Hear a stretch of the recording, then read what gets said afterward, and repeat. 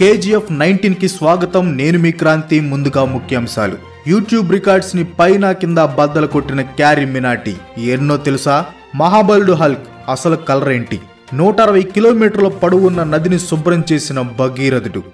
Fax కంటే నీ over action ఎక్కువైందని మండిపడుతున్న కొంతమంది వీక్షకులు సరదాగా కామెంట్స్ డిలీట్ చేసిన క్రాంతి.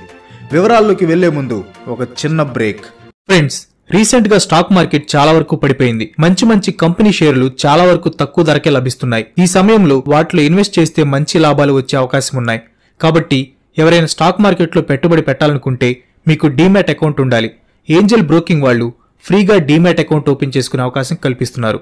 దీంట్లో కేవలం పది నిమిషాల్లోనే ఆన్లైన్లో మీకు మీరే సులభంగా అకౌంట్ క్రియేట్ చేసుకోవచ్చు. అంతేకాదు త్వరలో రిలయన్స్ జియో ఎల్ఐసి వంటి పెద్ద పెద్ద కంపెనీలు స్టాక్ మార్కెట్లోకి ఎంటర్ అవుతున్నాయి. ఒకవేళ మీరు ఐపీఓ ద్వారా వాటిలో ఇన్వెస్ట్ చేయాలనుకున్నా అలాగే మ్యూచువల్ ఫండ్స్లో పెట్టుబడి పెట్టాలనుకున్నా ఈ ఏంజల్ బ్రోకింగ్ ద్వారా పెట్టుబడి పెట్టొచ్చు. అంతేకాదు ఒకవేళ మీరు ఏ షేర్స్లో పెట్టుబడి పెట్టాలో తెలియకపోతే వాళ్ళ రీసెర్చ్ టీం ఏ షేర్స్లో పెడితే మంచి లాభాలు వస్తాయో ఎనాలిసిస్ చేసి మీకు పంపుతారు. కాబట్టి అందరూ ఈ అవకాశాన్ని ఉపయోగించుకోండి. ఆసక్తి ఉన్నవారు ఈ వీడియో కింద ఉన్న డిస్క్రిప్షన్లో లింక్ ఉంటుంది. దాని మీద క్లిక్ చేసి అకౌంట్ ఓపెన్ చేసుకోండి. అశోక చక్రవర్తి మౌర్య డైనాసిటీలో మూడవ రాజు. మౌర్య డైనాసిటీ ఫౌండర్ అయిన చంద్రగుప్త మౌర్యకి మనవడు.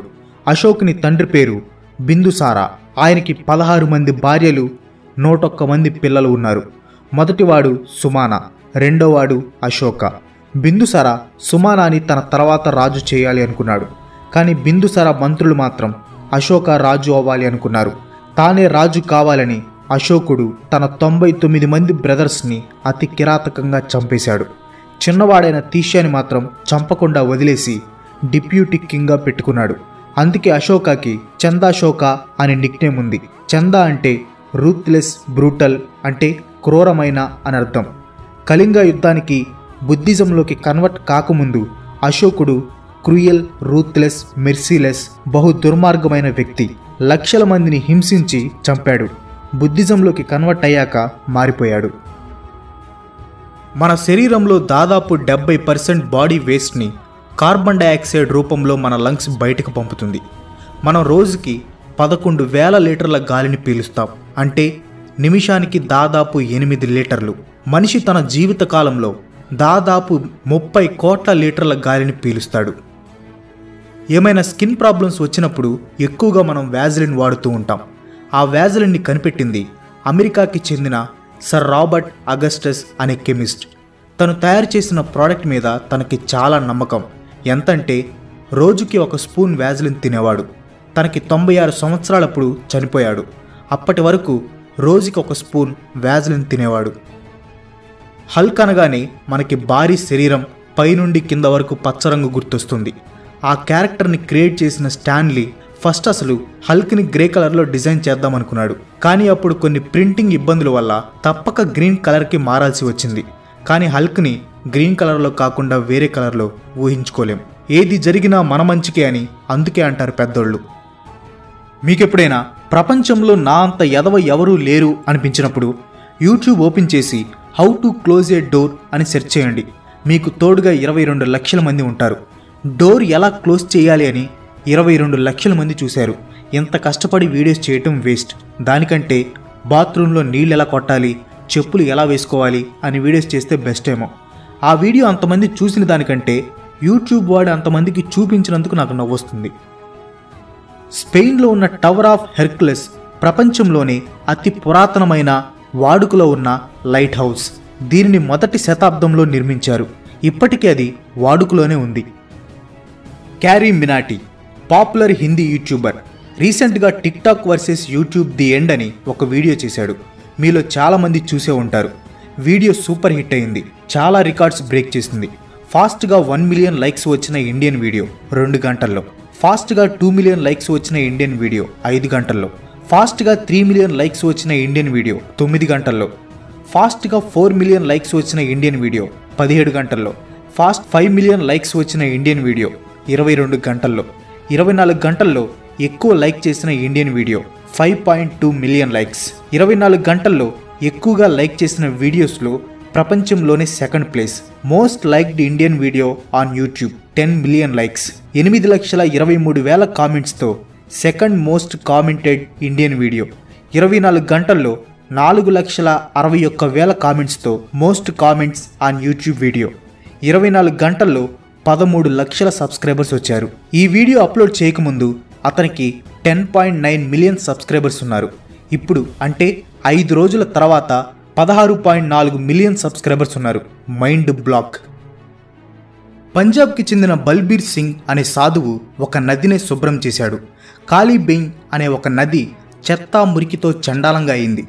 రెండు వేల సంవత్సరంలో బల్బీర్ సింగ్ ఈయన్నే ఎకో బాబా అని కూడా పిలుస్తారు. కొంతమంది వాలంటీర్స్తో కలిసి నదిని శుభ్రం చేయడానికి నడుం బిగించాడు. నదిని శుభ్రం చేయడమే కాదు నదిలో కొన్ని ప్రాంతాలు చాలా సంవత్సరాలుగా ఎండిపోయి ఉన్నాయి. వాటిని కూడా బాగు చేశారు.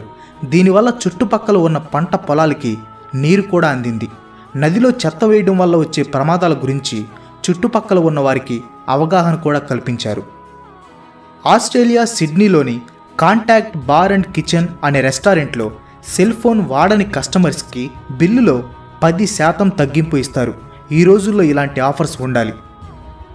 నైట్ విజన్ గాగుల్స్ గ్రీన్ కలర్లోనే ఉంటాయి. ఎందుకంటే మనిషి కన్ను వేరే రంగుల కంటే పచ్చ రంగులో తేడాలని ఎక్కువగా గుర్తించగలదు. పబ్జి ఆడే వాళ్ళకి ఈ విషయం బాగా అర్థమవుతుంది. ప్రపంచంలోనే మొదటి సోప్ కంపెనీ పాలస్తీనాలో స్టార్ట్ అయింది. నబుల్సీ అనే సిటీలో ఫస్ట్ సోప్ని తయారు చేశారు. ఇప్పటికీ ఆ ప్రదేశంలో పాత పద్ధతిలోనే సోప్స్ని తయారు చేస్తున్నారు. ఈ సోప్స్లో ఓన్లీ త్రీ ఇంగ్రీడియంట్స్నే యూస్ చేస్తారు. ఒకటి ఆలివ్ ఆయిల్ రెండు బేకింగ్ సోడా ఇంకోటి వాటర్. ఈ సోప్ని కలపటానికి దాదాపు ముప్పై రోజులు పడుతుంది అంటే సరిగ్గా ఒక నెల. ఆ మిక్స్ చేసిన లిక్విడ్ని డ్రై చేయటానికి రెండు నెలలు పడుతుంది. టోటల్గా సోప్ని ప్రిపేర్ చేయడానికి మూడు నెలలు పడుతుంది. అలా డ్రై చేసిన సోప్ని నీట్గా కరెక్ట్ డైమెన్షన్స్తో కట్ చేసి వాళ్ళ కంపెనీ లోగోతో ఉండే పేపర్ని దానికి చుట్టి అమ్మటానికి పంపుతారు. నబుల్సీ సోప్కి ఎటువంటి ఫ్రాగ్రెన్స్ ఉండదు. కానీ మీరు ఈ సోప్తో స్నానం చేసిన తర్వాత మీ బాడీ నుంచి ప్లెజెంట్ స్మెల్ అనేది వస్తుంది.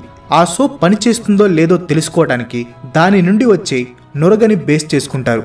మీరు స్నానం చేసేటప్పుడు నురగ రాకపోతే ఆ సోప్ పనిచేయటం లేదు అని అర్థం నొరగ వస్తే మీ బాడీ మీద ఉన్న పురుగులన్నీ పోయాయి అని అర్థం. ఈ నొబుల్సీ సోప్కి పోటీగా ఇంతవరకు ఏ సోప్ కంపెనీ నిలబడలేదు. మనం రోజు వీడియోస్ చూసేటప్పుడు ఎక్కడో ఒక చోట కస్టమర్స్కి ఐస్ క్రీమ్ ఇవ్వకుండా ఆట పట్టిస్తూ ఉండే వీడియోస్ తగిలే ఉంటాయి. అసలు ఐస్ క్రీమ్ ఎందుకు అలా స్టిక్ అవుతుంది?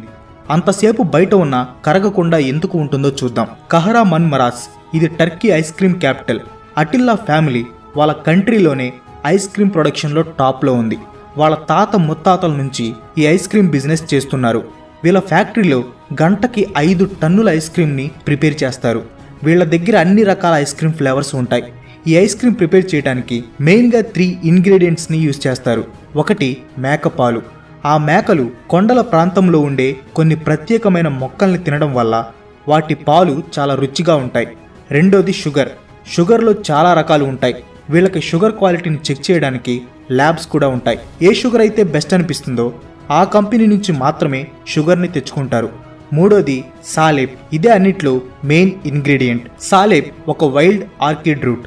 దీనిని యాడ్ చేయటం వల్ల ఐస్ క్రీమ్ బాగా సాగుతూ మంచి స్మెల్ అనేది వస్తుంది. ఎంత ఎక్కువసేపు ఐస్ క్రీమ్ని చిలకరిస్తే అంత ఎక్కువగా సాగుతుంది. అలాగే చాలా గట్టిగా కూడా అతుక్కుంటుంది. ఇలా ఈ ప్రత్యేకమైన సాలిప్ అనే పదార్థంతో ఈ ఐస్ క్రీమ్ అనేది స్టిక్ అవుతూ త్వరగా కరగకుండా ఉంటుంది.